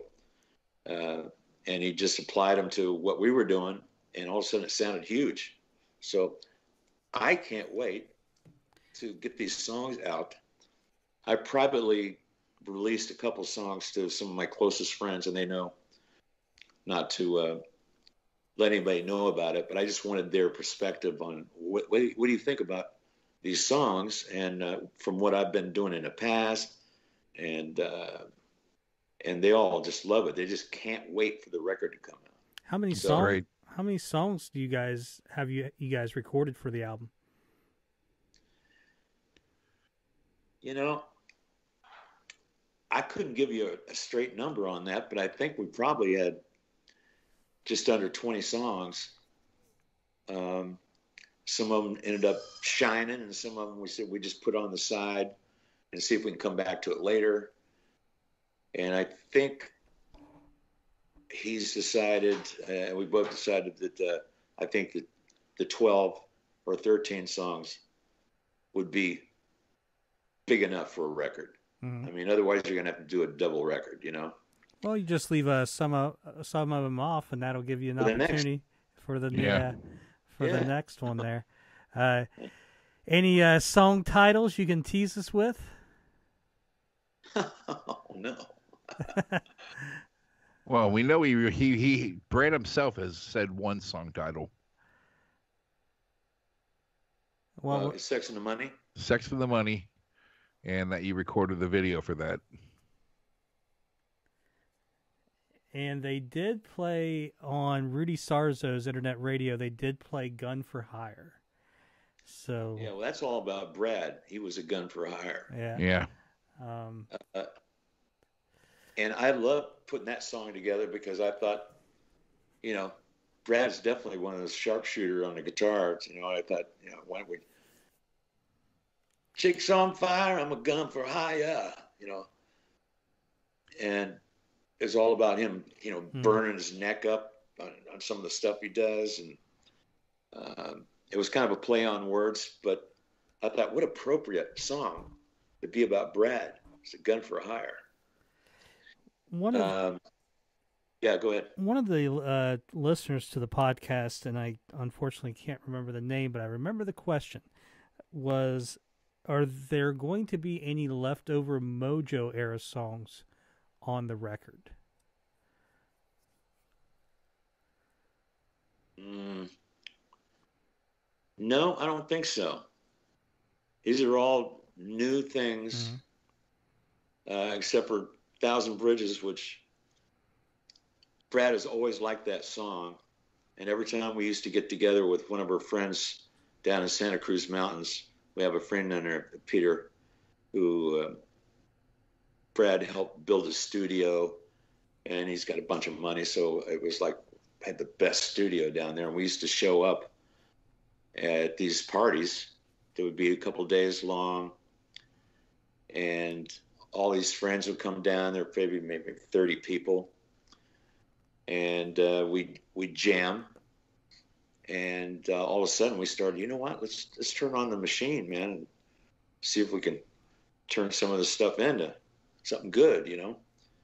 So I had this song Thousand Bridges that Brad has heard me play, or he heard some. I, I think maybe uh, my friend down there in the Santa Cruz Mountains. I think he had a copy of Thousand Bridges. He always loved it, and he begged me, "Is, is you mind if I put that on our record?" I go, "Hell no! Are you kidding me? I mean." Mhm. Like Music Box, I wrote that song back in the '70s. You know, when I first came out to California, and it sounded like a music box. Um, the one that's on the thousand is it Thousand Bridges? Uh, yeah, S- Still Moon. Still Moon. Mhm. Um, it was set up to sound like a music box, and it was a true story about uh, you know uh, me going on the road and and um, buying a music box with the song that I wrote and turned it into the music box, and so she could play the song on the music box uh, on a rainy day, you know, looking out her window in her bedroom. And there was all this big vision that I saw, and I thought, you know, and everybody liked the song, so I think there's three versions out there. So you, But, so uh, Brad so Brad asked you basically the title track off your second solo album if they you guys so you guys are kind of re-recording it, putting Yep. a new touch on it, and that'll be a very uh, very cool to uh, to hear. Have you guys any release dates or anything yet, or is that still being negotiated and in the works? It's still being uh, worked out. I know that uh, we're definitely we've had a couple offers from a couple different record companies, um, usually Europe, um, and uh, we want to get the best deal we can. And there's no hurry right now Mhm. because Yeah. you know everything's kind of at a stagnant uh, standstill. So I think we're just waiting for the right moment to get this thing out because it's different than anything that anybody's heard Brad do or me. But when we get together, there's this magic thing that happens and these songs. Um, Yeah. are just uh, it's like uh, I don't know what to what to call it, but there's this uh, a certain chemistry that happens when we work together that we look at each other and we start like laughing. It's it's so so happening. We're just going, what the fuck, man? I mean, Well, hopefully, this is this is an ass kicking song. Let's put that on there too. And that, that, and that all came from a tape that you had going around and them finding you. You know, yeah. Well, you Yeah. know, from back that, in you the know that synergy you- you're talking about. You know, they found you. and- That's cool. And 38, 30 years later, you guys are still, uh, you know, creating great new music. Hopefully, I know, I you, when the album comes out, you guys uh, find yourself a uh, drummer. Uh, well, that too, but you guys find yourself a uh, drummer and do some shows out there. And uh, when the album does come out, uh, obviously there's an open invitation for you, you and uh, Brad, obviously, to uh, come on and talk about it. There's uh, there's some great anticipation for that album to uh, come out. Uh, Brent, uh, I wanna I wanna ask Gary just randomly. Gary, do you have any Rubicon stories? Did you and Rubicon ever cross paths back in the seventies? Yep. There's only one Rubicon story, and it was there used to be these clubs. There are two clubs, uh, like brother and sister clubs. One was up in San Francisco, and one was down in like around Pismo Beach, which is about halfway between L.A. and San Francisco. It was they were called C Street North and C Street South and that's a, a a big club that a lot of uh, recording artists, if they were touring, they would they would stop and play at that club. Um, and I was I was uh, doing the Moonsparks thing, and I was uh, working. We were working our way up from Los Angeles. We came out all the way from Ohio, and uh, put this band together, Moonsparks, and so we put the band together, and we started going up, booking shows up the coast. Um, and when we got up to Pismo Beach, our keyboard player decided to quit. Uh, his girlfriend uh, started a hair salon in Vegas, and he goes, "I need to go out there and help her put it together." So, okay, so you just go ahead and do that, and uh, and we found somebody right there in Pismo Beach uh, that came in and played the hell out of a Hammond and just sat in with us one night. And he's in, and he was all in. So, anyway, we're uh, doing a show, getting ready to do a show at C Street South, which was down there in Pismo. And uh, Rubicon was the other band that was playing that night. So it was just us two bands. So I remember my brother was in in uh, Moonsparks too. So um Brad's guitar or his amp blew a fuse or something, and it wasn't working uh, right before he was supposed to go on. And my brother turned him on to uh, Mesa Boogie or something. I'm not sure what the name of the amp was, but gave it to Brad to use for a show. So that's how we met. We were doing the shows at the same club, never known each other for anything. Uh, and we hit it off. And, you know, that just happened. Then it just kind of dissolved into the air. And then when I finally got got into uh, knowing Brad the first time when we started putting the Night Ranger thing together, uh, I realized that he was the guitar player that night in Rubicon, and Wow. And we so man, and then we started talking about all kinds of crazy shit. I think there was a fight in the bar that night, and everybody was throwing chairs, and but the music kept going. Music kept going. but it was one of those. It was right out of a movie. I mean, uh, about five or six different marshals and sheriffs came in and were tying people up to chairs. Uh, but the the show went on, and uh, so we, we, That's one of the stories Mhm. that uh, That's just cool that your guys' paths crossed. I even know. that even that Yeah. early. it was meant to be. I guess. So another uh, kind of out of Wild. left field question I got for you. Yeah. What was your favorite when you were, you know, touring with Night Ranger in the uh, early to mid '90s? What was your favorite classic era Night Ranger song to play live? So not your era, but the uh, classic era. Oh, the classic era. Now you're talking about live shows or uh, It could be both. I was just I was just asking live on stage, what was what was the one track that you just really enjoyed playing from that previous lineup? oh, when I was in the band. Yeah, from when you were in the band, but you know you guys were playing some of the early er, Yeah. early hits. Well, when you close your eyes was such a great song. Um, and Rock in America. I mean, there was about three to five songs in our set list that, because I was kind of making it my own too, you know. Um, I played pretty aggressively on, especially like Rock in America and Don't Tell Me You Love Me. Uh, and I, nothing really stands out. It was just like every song that we did was actually, I guess, not a hit, but uh, well-known songs Mhm. from the era of uh, Midnight Madness. Uh, I mean, that's that's where some of the biggest hits came from, Midnight Madness.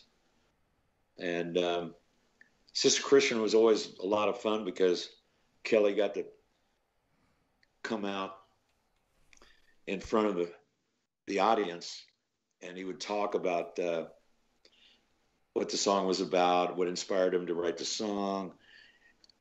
And then he just started almost like spoken word. He just started singing the melody, and everybody just started to uh, come in on the song. And it, by the time we're about one third the way through the song, uh, I'm trying to get rid of this guy.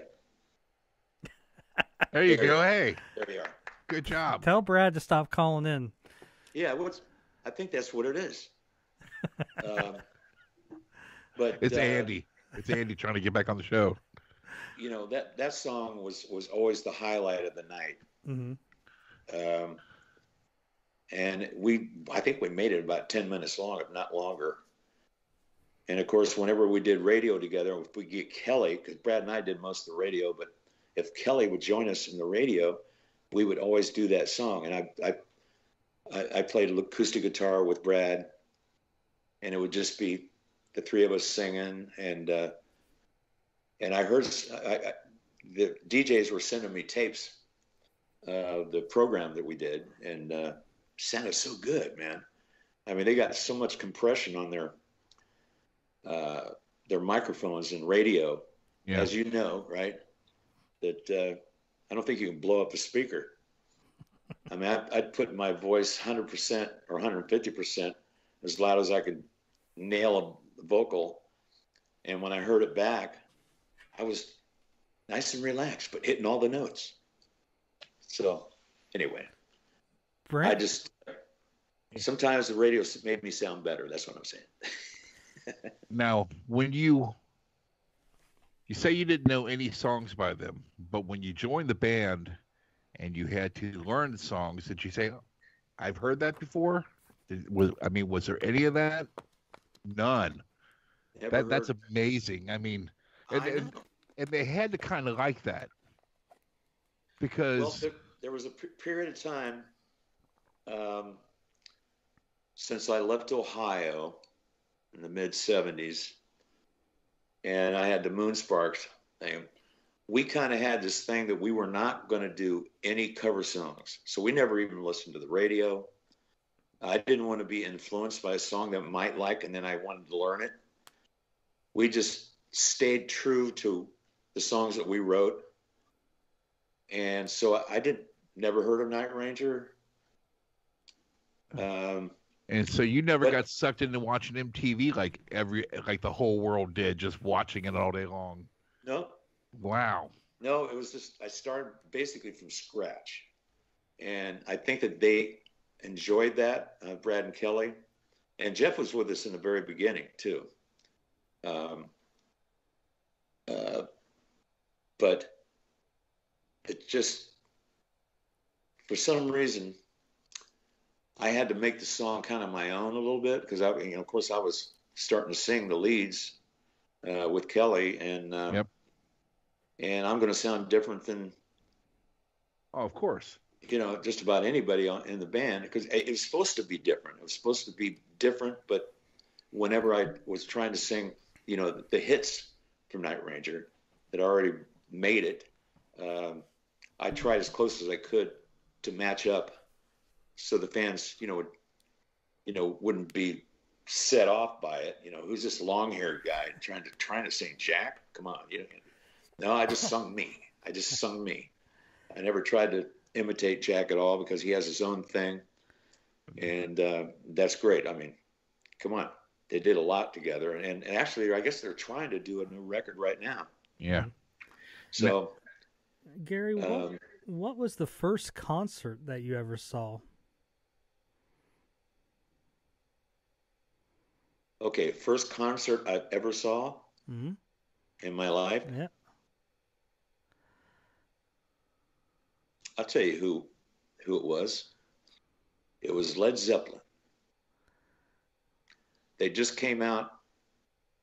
They just came out with Led Zeppelin two, and they were promoting a record. And they were playing this uh, great show in Columbus, Ohio. Um, and I was a huge fan. I just I couldn't believe that someone got me tickets to it and I sat in the second row. I mean, Robert Plant could just spit on me, you know. I think he did. Um, but that changed my life. That night changed my life. I go, this is what I want to do. And I want to do it this way, you know. I just want to blow people away and um, and just And, laugh and spit on people. yeah, yeah. I just, just you know, make that smirk that uh, uh, Eddie Van Halen used to do when he played Yeah. his solos. You know, he kind of did that cheesy smile, while he was like kicking mucking ass on his guitar. And it was like, you, you think you're so great. That's the way it came across, but he was. So there was no doubt about that. So, so I, I, I changed my whole attitude uh, went back and started writing a whole different kind of songs, and um, and of course, you know, I saw uh, actually I saw Jo Jo Gunne, uh, uh, Curly Smith was in. There was a band called uh, uh, it was a really cheesy vocal band uh, that he was doing a show there too, and uh, it was so weird. All these, all these, especially now, all these years that I've been touring a lot, it's, it's so weird when you run across people, especially if it was one of those three-day festivals, and there's like 20 bands, and they're all like they all had hit records, and all of a sudden you're just sitting in a tent with kind of a mediocre cold beer, uh, with your shoes off, and, and you got 15 minute guys, uh, you know, and you just kind of have this camaraderie that uh, that happens. And uh, I just, I forgot what your question was actually. hey, Brent, you got a left field question? Well, the, it kind of goes back to when you joined Night Ranger, since you didn't, you never heard them. What did you think the first time you heard Brad plug in? I mean, what were your impressions of his style? And because I mean, I mean, he didn't emulate anybody. He he was just his own guy. Right. Well, I tell you what, um, I don't think I've ever heard anybody because I was kind of into fusion jazz for a long time. So John McLaughlin Yeah. and all these crazy ass players that I don't know how in the hell they got the sound out of that guitar, but uh, but uh, Brad was playing stuff that I've never heard before. You know, I was pretty impressed. I could see how this could be a fucking, excuse my language, uh, trio because he's covering a lot of bases, and he's got a lot of tricks of the trade, and and you know he looks good doing it, and so I was quite impressed. And in Kelly's drumming and his voice, you know, I, I couldn't believe that I got set in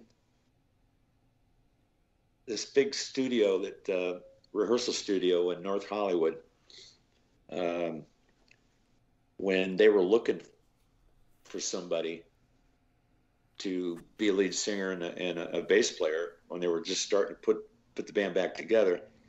I had to audition actually, so I went in, met them, never seen them before, and I didn't know any of their songs.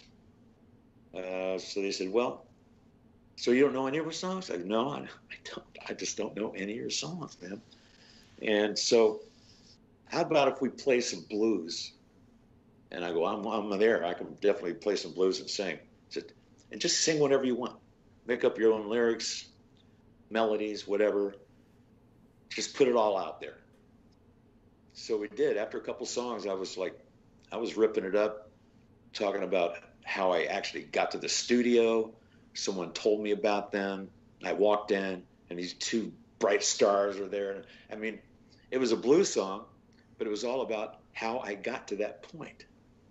And they kind of liked that. And I was I was able to do the screaming stuff and the baritone stuff, and gave them a little of everything. And um, I think I think they had auditioned, you know, a bunch of guitar players before that that day, I think, and I was the last one. And they just told me almost right then, says, "If you're interested, man, we'd love to have you join us." And I go, "Wow." Well, I got to think about this now. I got to uh, take care of my grandma. No. um, but they said, "Well, I'll tell you what. We'll, we'll give you a call in a few days or so, and uh, we'll talk to our manager and uh, and have you come in for a meeting." So that's when I, I met Camel, and um, so I don't know what to say except uh, you know I was quite impressed, and I, it, it, they actually made made me a better player Mhm. because um, you know Brad was you know he was testing me on some of the stuff that he was playing. Wanted to see if I can catch up with him, kind of stuff, you know and I did.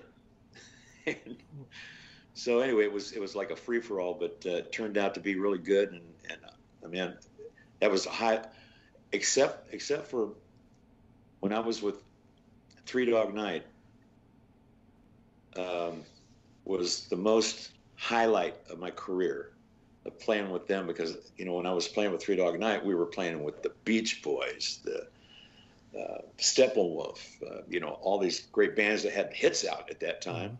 Grand Funk and Grand Funk, all that Yeah. stuff. I mean, I, we did a show with Grand Funk in uh, in uh, New Jersey somewhere, and that was a great experience too.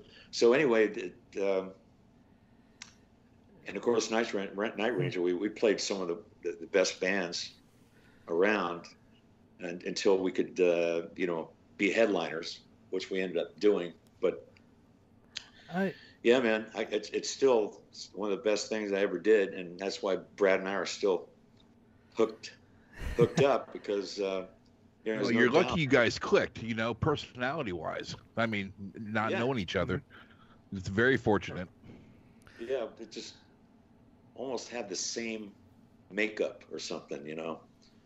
Uh, because every time we'd get totally into a song and we'd take a break and we'd go out to a fire pit and sit and smoke a cigarette, have a beer or two, and and uh, you know, this felt so natural, you know. So I that's why I ended up staying there a couple extra days. And uh, he said, I got, you know, I have this song that I did like years ago, like 15 years ago, and I think I could find it. I bet this would be great for us to do. That's the kind of stuff he would do. He'd pull out stuff that he already wanted to do, but never made made it in the Night Ranger realm. Yeah. And uh, so he was allowed to do whatever he wanted now, you know, because you know Jack kind of you know pretty much kind of running the ship. Uh, and a lot of the songs, you know, came from his his ideas, and, uh, and I'm pretty sure this new record is going to be almost the same. Uh, I'm sure there'll be some great songs on there, but Brett, I know, is dying to break out with the solo thing. hmm Uh, he's he's so jazzed about the songs, and um, and I, I can't wait either. I mean, that's Cool. everybody I run into. I make them sit in my car for 15 minutes, and like, "What do you think of this, man?" you know, Here's a like I was a teenager or something. here's a question I'd like to ask uh, Yeah. the songwriters. So let's say a hundred years from now, there's some thirteen-year-old kid doing a research project on his family tree, and he sees that his great great great great grandpa was a person by the name of Gary Moon, and that he was a songwriter. So he starts trying to do some research through the family archives and you know all that stuff, and through the stuff that we don't even know will exist then. What is the one song of yours that you hope he discovers?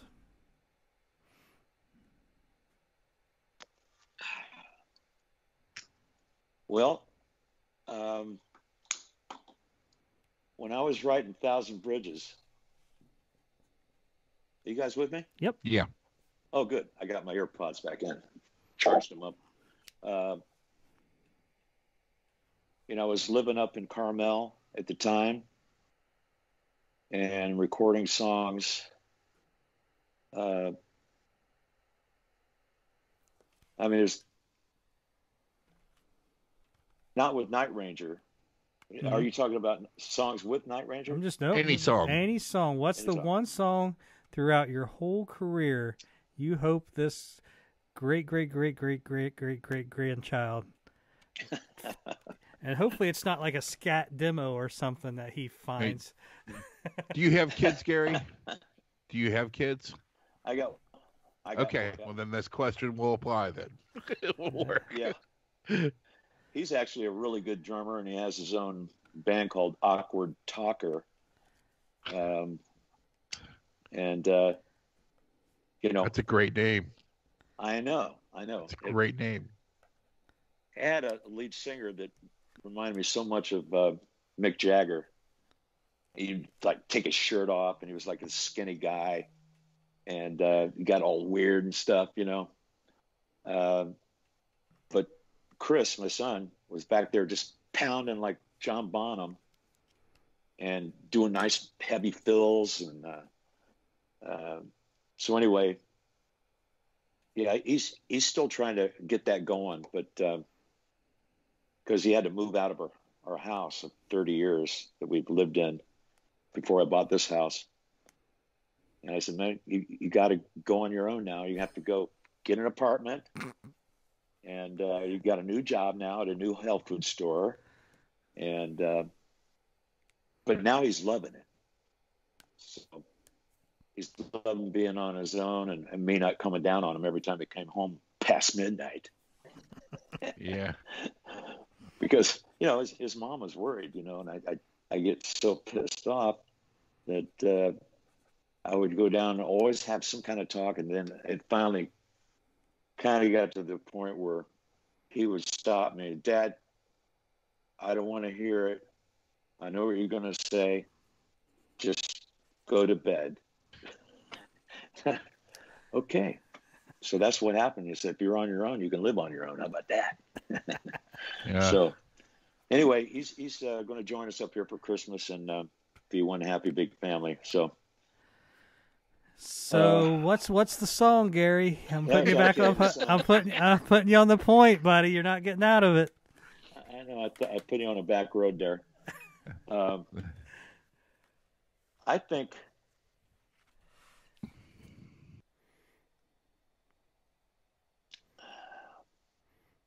well, there was this one song. It's on uh, Thousand Bridges. Angels Don't Lie. Uh, it's all about the first trip that I ever took from Carmel to Big Sur, California, which is about 30, 45 minute cruise. And the first time, I mean, everybody said, Oh, you got to go to Big Sur. You got to go to Big Sur. I go, You know, I'm going to go down to Big Sur. And I, I actually took some um, magic mushrooms that somebody gave me a long time ago. And I thought, This is perfect. This is going to be this great. I want to be in a whole different mindset, you know. So I made some brownies and ate some of those mushrooms, and it never got really crazy, but uh, it just took me out of my myself. And I was watching myself driving down the coast, on all these windy roads and beautiful. It felt like I was in Scotland.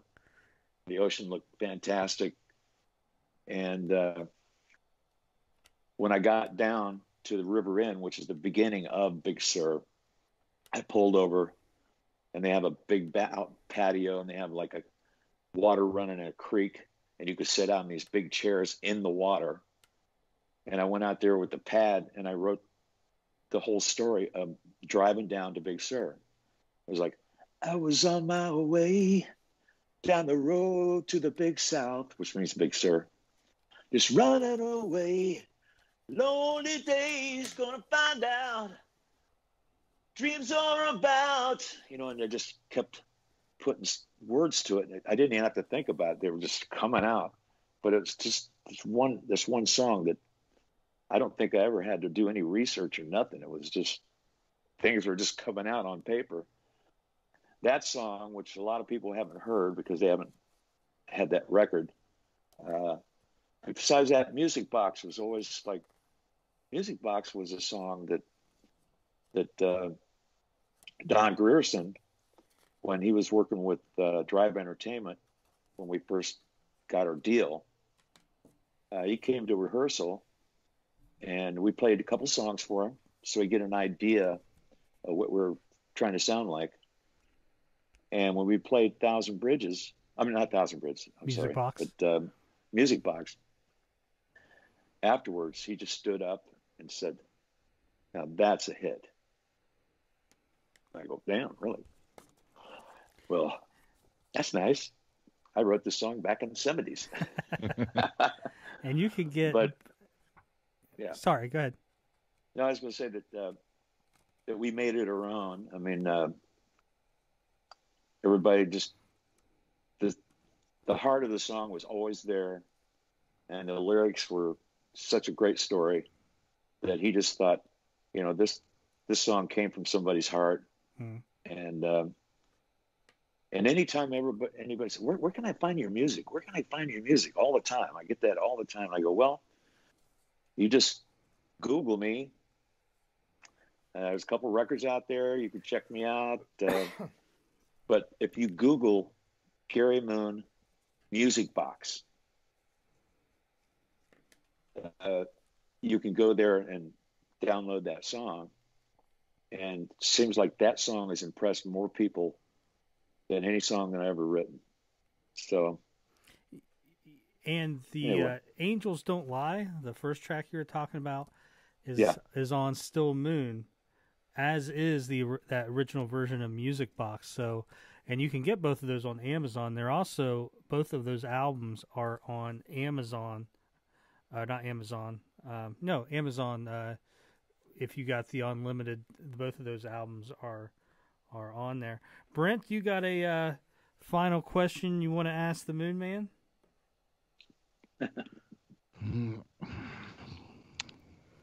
No, you pretty much um just sit here, blowing me away, sitting here listening to your stories. I love this. I love hearing things that I don't. Some things I do know about, and then when you when when when we when we let you go, it's beautiful. Well, It's- you know, these are periods of time uh, that uh, they're going to be with me forever because Sure. they they were uh, they that all made me what I am right now, and uh, I mean I'm just putting together a a band up here. A drummer that I've known for years and years and years since the '70s. His name is Jamie D. Maria, um, and he's got uh, great keyboard player that plays a Moog and uh, piano and Hammond and all that kind of stuff. And uh, we're looking for a guitar player, but uh, just the drums and this keyboard player and myself, we've been getting together and going through my whole catalog, really stuff that I did with with Night Ranger, uh, the Still Moon CD, Thousand Bridges, and uh, anything else. Well, even we're throwing in a couple uh, Three Dog Night songs, you know, like uh, Joy to the World and uh, um, Liar. It's a song called Liar.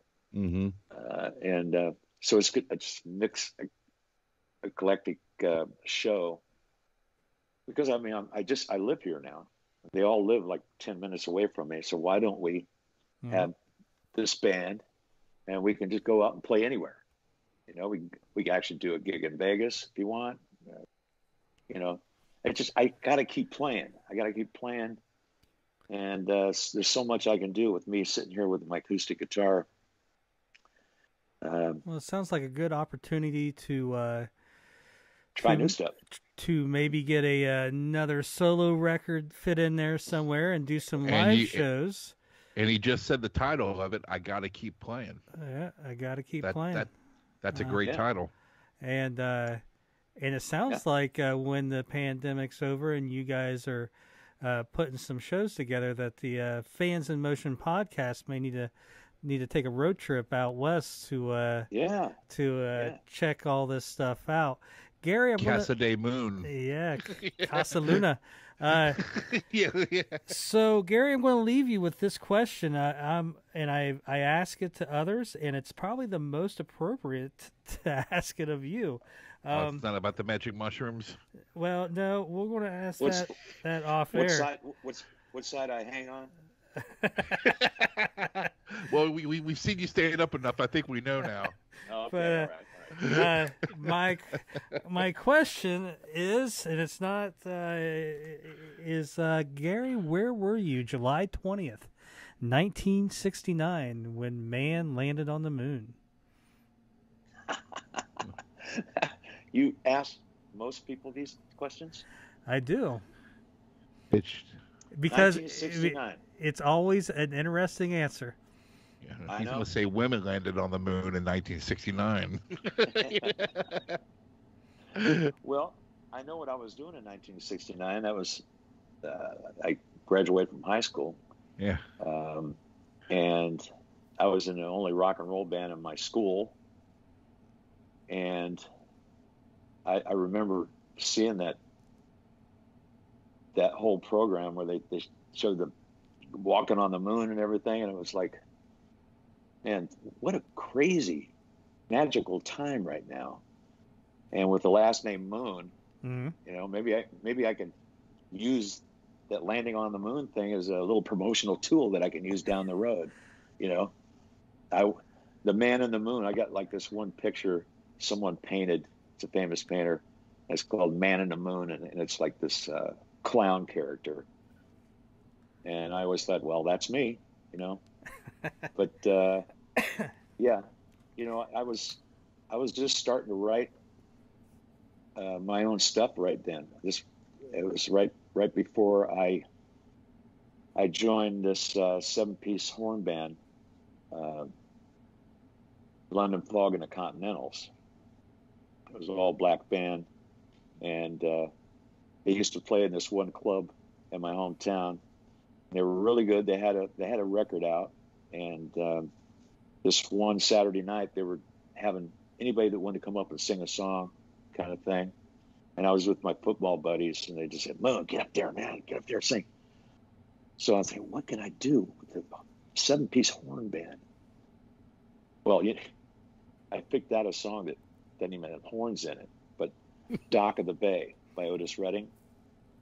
Sitting on the dock of the bay, you know. And I got down on my knees and I leaned back. I, I did a couple spins and I directed the band, act like I was directing them. I never even seen them before. Uh, so the manager was this uh, big white woman that uh, was their manager, I guess. She came up to my table and with my guys sitting there, said, "Would you be interested in ever going out on tour with a band like us?" And I go, "Well, I don't know. I mean, well, I'll tell you what. You think about it. I could pay you this much money, and we're starting. We're going out promoting this record that we did. Did excuse me. And uh, you would be perfect because we're looking for a blue-eyed soul singer. That's what they called me, like a white guy that sings black. Yeah. You know, blue-eyed soul, uh, which is that, that was you know compliment. I mean, I, I loved singing James Brown and Wilson Pickett and all that all that stuff. I was totally into Motown at the time. And says, if, if you're interested, we're leaving in three weeks. If you're interested, and by the way, do you play horn? I go, yeah, yeah, I do. Never played a horn in my life. Uh, yeah, I play horn, um, saxophone. So, well, that's great because, you know, you need to play a horn to do this with us. Because what you're going to do is you're going to be the lead singer with the band. Uh, there's going to be five sets. Two middle sets are going to be with the Continentals, which was like these trio, uh, two black guys and a black girl. And they do like uh, the temptation moves and all that kind of stuff. And uh, they were the main part of the band. You know, the Continentals special. You know, I would warm up the audience with the first set. Uh, then I play horn back of the Continentals, and then I come back in a middle set. Third set would be me again, being lead singer. Uh, then I go back in the horn. So I had to learn how to play horn. So I had to go buy a Selmer um, tenor sax, and there were the, the saxophone player in the band took me aside, showed me how to finger it, you know, so I could at least get my fingers on the right notes. And uh, all the parts that I'd be do- doing uh, off the bat was like, bam, bam, ba-da-da-da, you know, stuff like that. So I didn't have to do solo or anything like that. I just had to do those jabs. So it was pretty easy for me. And so I, I, I, I was good. And we went out and toured for, I don't know, a couple of years. Um, that's how I learned how to, how to spin, do the splits, do back flips, kick the microphone. You, you know, uh, James Brown used to kick the microphone Yeah. stand over and kick it back with a Come split back up. back and do a spin and hi, you know. So I learned all that stuff during that time. So I, I became a blue-eyed soul singer, you know. And um, but uh, London Fog Anyway. and the Continentals. yeah, Gary, I think that's where we're going to end it at Okay. right there because I don't think we Wow. can we can top that. But uh, Gary, thank you for coming on and joining us. yeah, sure. Um, open invitation to come back when the uh, you and Brad's album is released. Down the Yeah. road, we would love to have you come back on and and do an in depth album dive of the uh, Mojo record where we talk about you know all the songs and just basically how they were written. But uh, hey, we appreciate you coming on and uh, and giving the fans uh, what they want. We appreciate it. Anytime, man. It's a blast. You know, uh, I, you know, anytime I, because I'm one of those kind of guys that, uh, oh no, here comes Gary. Act like you don't see him. You know, in a bar, be my best buddies. Like, oh no, here comes Gary. I know what's going to happen. He's going to sit down, going to order a beer, and he's going to tell stories. Well, yeah, Brad. is- Brad calls me poopy. Mo- What do he call you? Moon Poopy. Moon poopies. Moon poopies. Yeah. there we Poopies. and with Son that of bitch called me moon poopies today. we're going to leave it with moon poopies. Later, everyone.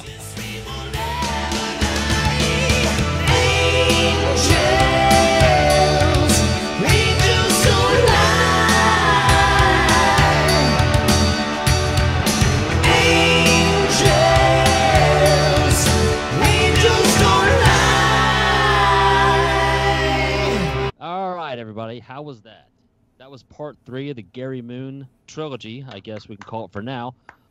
Although I think Gary is going to become a friend of the show, like our friend Eric Levy, and uh, hopefully we'll have him back. Um, Josh, you want to everybody you like the show? Go to subscribe um, at uh, YouTube. I just totally screwed all that up. Yeah, you did. It was all right. Lost my train of thought. Go I Josh, do you want to? go, go to go to. Face Space and and go uh, to MySpace and put me at your top ten. And yeah. So listen, uh, we Go have to that uh, tube thing. go to Facebook, Fans of Motion, uh, just Fans of Motion Night Ranger. You'll find us there. Obviously, everything kind of flows through the Facebook page, and the YouTube is where we put most of the interview, all the interviews, and we always have photos and all that good stuff. Uh, you can find all the uh, podcast on fansofmotion.com. If you go there, you can also find us on iHeartRadio, iTunes, uh, Spotify, uh, whatever, Amazon, all that stuff. And we just got approved for uh, Pandora after two months, so I will get that working. So you'll be able to listen to us on Pandora. So if you you know like the Facebook page, subscribe to the uh, YouTube page, and if you got you know leave us a comment on the YouTube page or on the uh, Facebook, anything. If you got what your thoughts are, if you got photos from when you saw them back in the Gary Moon era, you know, take some. You know, you don't have to scan them or anything. Just take the, get dig them out of the old photography book and and just take them a picture it of them. phone. Yep, and just upload it. So that's what I'll be doing next. yeah, so- there's Love your great to see some video footage from that tour. Yeah, I posted the only video footage that I can't remember if we talked about this at the beginning or not, but uh, uh, uh, the only video footage that is really known to exist is the 1991 radio show from Houston. It's like a two-hour video. Night Ranger, I think, begins at the 1725 mark. I've posted to our page, the Facebook page. So they play three songs: "Heart of Stone," uh, "Wrong Again," and "Don't Tell Me You Love Me." And at the end, "Don't Tell You Don't Tell Me You Love Me." Jeff Watson comes out and performs with them. So a little. Well, that reunion. is super awesome. Um, Brent, you got anything you want to say before we sign off? Yeah, I'm normally like the um, Teller to Penn in this part of the episode where I just don't say anything and just kind of move my head Not around, alone. and look at Josh, and you know sometimes I, you know the the beauty about watching me instead of listening to me, I can I can I can sex you up on the camera like this. you know? Oh boy. Okay. But if but if you're listening to it on just in your earbuds, you know I can really really get sultry if I want to. Oh Roger boy. Roger sultry that is. There are women all over the country drying up right now. I, I I totally agree with you. I totally agree with you. All right, Andrew, take us out, my friend. Everybody, thank you so much if you're still listening. Please That's come what to the happens page, when you give me a chance to talk. like us, ignore us, whatever, but uh, comment whether you like the show or what you don't like about the show. I'm Andy. That's Josh. That's Brent. Thank you, everybody. Mojo. Mojo. Mojo.